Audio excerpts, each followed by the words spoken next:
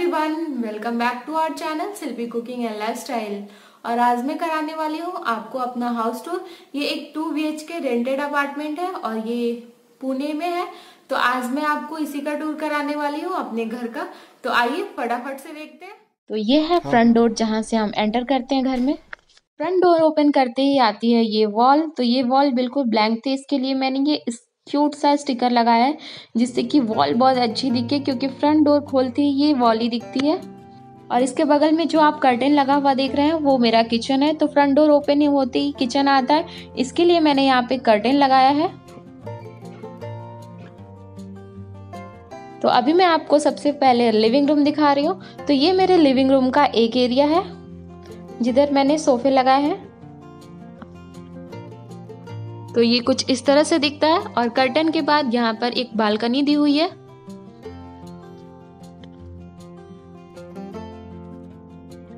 ये second area जहाँ पे मैंने फ्लोर सीटिंग का अरेंजमेंट कर रखा है। वैसे ये डाइनिंग टेबल का स्पेस है, लेकिन अभी मुझे उसका कोई यूज़ नहीं लगता। इसकी वजह से मैंने जो जगह था उसको प्रॉपर यूज़ करते हुए एक फ्लोर सीटिंग अरेंजमेंट किया है। यहाँ पर मैंने कारपेट और कुशन रखे हुए हैं।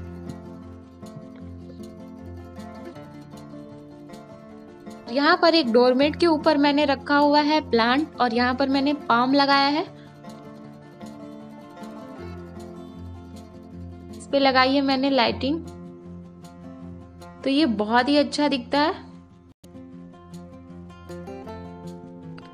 तो ये पूरा कुछ इस तरह से दिखता है।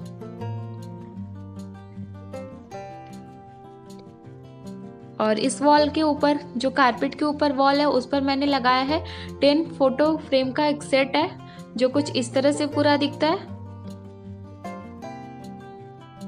ये वॉल भी पूरी खाली थी तो मैंने यहाँ पर एक बहुत ही अच्छा सा स्टिकर स्टिक किया है।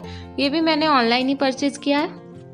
और एक कॉर्नर में रखा है मैंने पूजा मंदिर। तो ये पूरा कुछ इस तरह से व्यू दिखता है।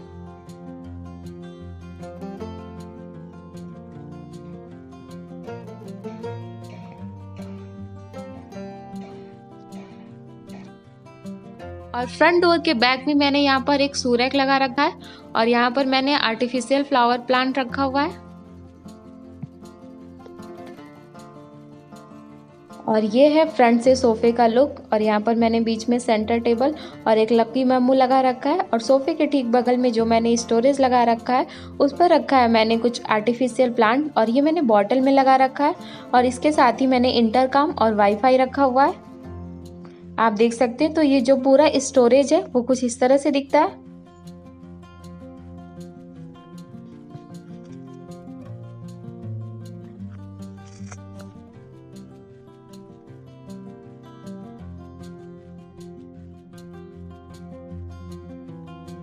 तो अभी मैं आपको सेंटर टेबल के ऊपर रखे हुए एक ब्लैक ट्री में और कलरफुल पेबल्स डाल के मैंने यहाँ पे लकी बैम्बू रखा है, जो देखने में बहुत ही ज़्यादा अच्छा लगता है। तो ये पूरा आप लुक देख सकते हैं, कितना अच्छा लग रहा है। और सोफे के टी के ऊपर मैंने एक बर्ड्स का स्टिकर लगा रखा है। पूरी खाली वॉल थी तो स्टिकर लगाने से पूरी वॉल का लुक ही चेंज हो जाता है।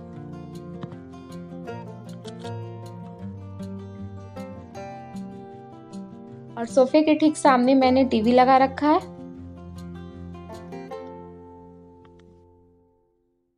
और अभी मैं आपको बालकनी की तरफ़ ले चलती हूँ तो कर्टेन के ठीक बाद ही बालकनी आती है। तो ये है मेरी बालकनी, जहाँ पर मैंने कुछ प्लांट्स लगा रखे हैं, और ये पूरा स्पेस है। तो यहाँ पर भी मैं कभी कभी इस तरह से अरेंजमेंट करके फ्लोर पे बैठने के लिए बना लेती हूँ। तो अभी मैं आपको बालकनी के पास से अपने पूरा लिविंग रूम दिखा रही हूँ।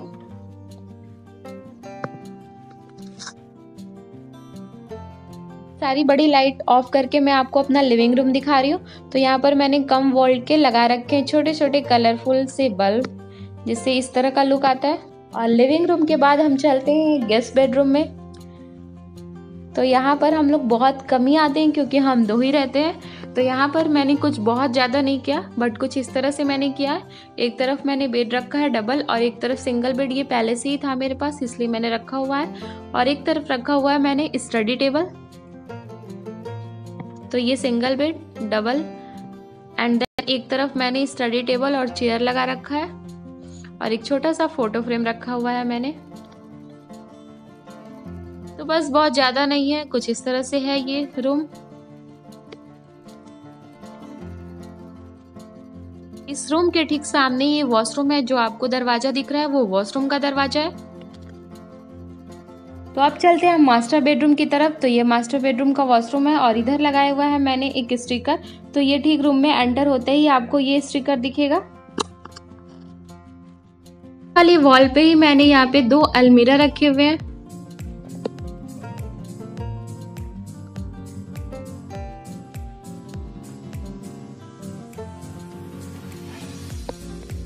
और ये है बेड। तो फ्रंट से कुछ इस तरह से दिखता है।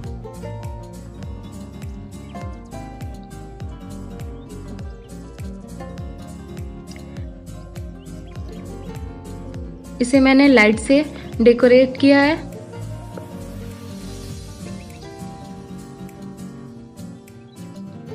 तो ये जो पूरा लुक है इसका, ये कुछ इस तरह से है।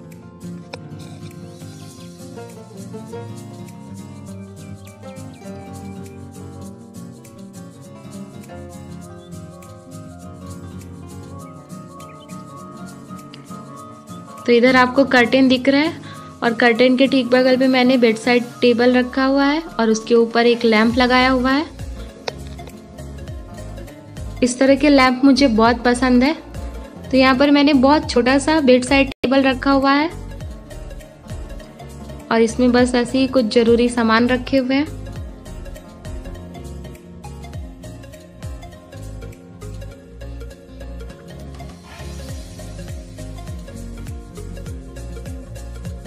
इस तरह से।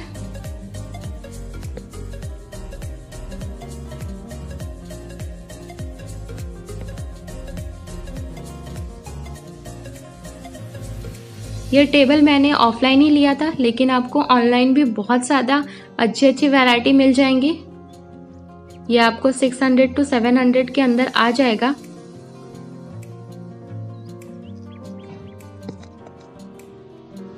और बेड के दोनों साइड मैंने इस तरह से मैट रखा है। कर्टेन और इसका सेम कलर है।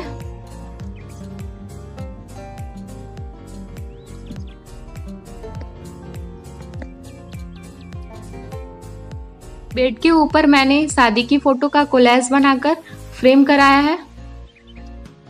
और इसे मैंने लाइट से डेकोरेट किया है। ऐसे फेरी लाइट से डेकोरेट करने के बाद बहुत ही सुंदर लगता है। कभी कभी आपको बस कम लाइट चाहिए होती है तो सिर्फ़ ये लाइट चलाएँ बहुत ही अच्छा लगता है, बहुत ही अच्छी रोशनी भी आती है और बहुत ही अच्छा लुक आता है कमरे का। यहाँ पर मैंने एक छोटा फ्रेम और एक छोटा सा टैडी लटकाया हुआ है।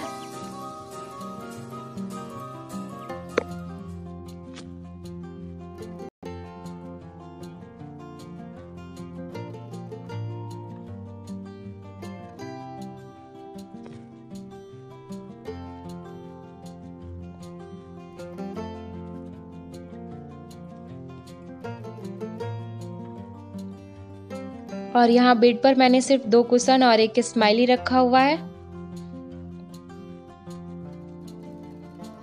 और ये है मास्टर बेडरूम का दरवाज़ा जहाँ से हमने एंटर किया था। और अब हम करते हैं किचन टूर। तो ये है मेरा पूरा किचन तो पूरा किचन कुछ इस तरह से दिखता है। तो जो मेरा किचन है वो एक नॉन मॉड्यूलर किचन है। तो यहाँ पर स्टोरेज की बहुत कमी है तो मैंने अपनी सारी चीज़ों को कुछ इस तरह से ऑर्गेनाइज किया है। तो किचन के किचन जो पूरा फ्रंट से कुछ इस तरह से दिखता है।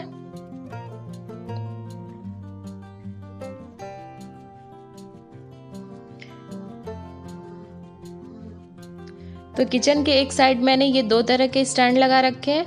तो एक पे मैं रखती हूँ ग्रॉसरी और दूसरे पे रहती हूँ, रखती हूँ अपनी यूटेंसिल्स तो रोज के सारे सामान इस तरह से स्टैंड पे एकदम अच्छी तरह से आ जाते हैं। तो ये स्टैंड मेरे लिए काफ़ी यूज़फुल है।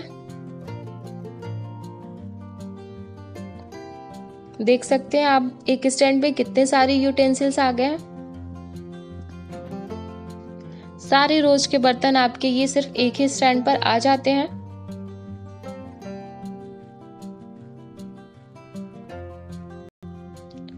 और ये मेरी सारी ग्रॉसरी जो मैं रोज़ यूज़ करती हूँ, वो सारी ग्रॉसरी इस पर आ जाती है। बहुत ही बड़ा स्टैंड है। तो मैंने कुछ इस तरह से ऑर्गेनाइज किया है।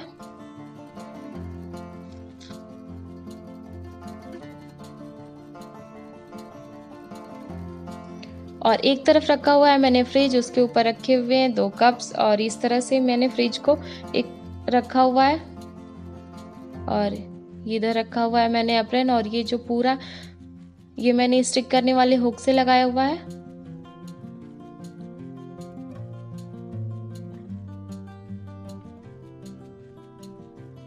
तो ये पूरा कुछ इस तरह से दिखता है। इस तरह से मैंने यहाँ कप स्टैंड में लगा कर रखे हुए माइक्रोवेव रखा हुआ है। उसके बगल में मैंने राइस कुकर, मिक्सर, घड़ा और यहाँ पर मैंने मसाले का स्टैंड लगा रखा है। तो ये सारे स्टैंड में लगाने से चीज़ें अच्छी भी दिखती हैं और ऑर्गेनाइज वे में दिखती हैं। इसलिए मैं इन सारे स्टैंड का यूज़ करती हूँ। इसमें बहुत सारे सामान भी आ जाते हैं, आप देख सकते हैं कितने सारी तरह के प्लेट सॉस वाली कटोरी, सारी चीज़ें एकदम अच्छी तरह से ऑर्गेनाइज हो जाती हैं, जो देखने में भी अच्छी लगती हैं और आपको काम करते वक्त अगर कोई चीज़ चाहिए तो बहुत ही आसानी से कंफर्टेबली मिल भी जाती है।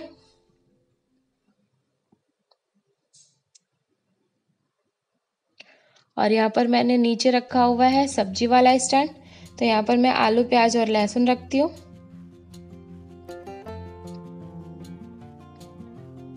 ये माइक्रोवेव के ऊपर मैं कपड़ा रखती हूँ क्योंकि धूल आती है।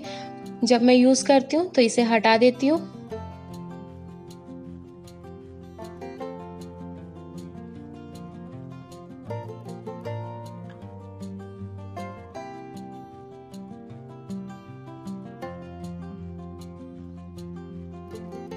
एंड ये बगल में मैंने राइस कुकर रखा हुआ है। मिक्सर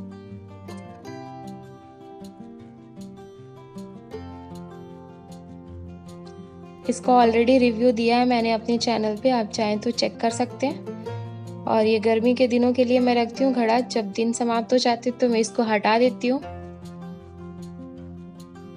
और यहाँ पर मैंने मसाले भी इस तरह से स्टैंड में लॉक जार में रखे हुए हैं।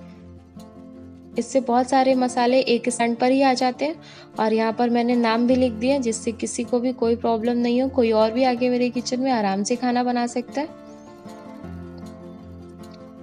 और ये है एक खिड़की जो खुलती नहीं है। तो यहाँ पर मैंने कुछ इस तरह से स्पैचुला चम्मच सीजर और ऑयल रखा हुआ है। ऑयल को मैंने ट्रे में रखा हुआ है।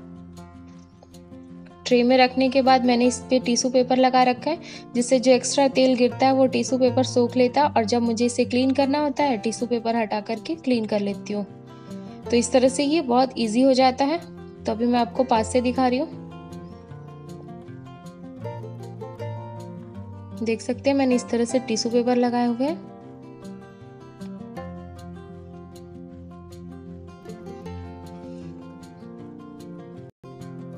और ये है बालकनी का दरवाज़ा, एक छोटी सी ड्राई बालकनी दी हुई है इसके साथ।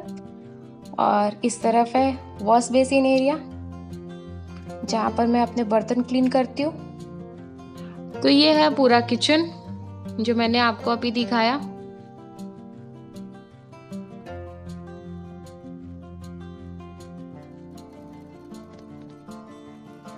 तो आई होप कि आपको अगर अपने घर की अरेंजमेंट करनी हो और खासकर जब आप रेंट के घर में रह रहे हो तो ये वीडियो आपके लिए हेल्पफुल हो। अगर आपको ये वीडियो थोड़ा सा भी हेल्पफुल लगा हो और और भी ऐसी वीडियो चाहते हैं तो प्लीज़ मेरे चैनल को सब्सक्राइब ज़रूर करें और साथ ही साथ लाइक कमेंट शेयर करना बिल्कुल भी ना भूलें। थैंक यू मिलते हैं नेक्स्ट वीडियो में।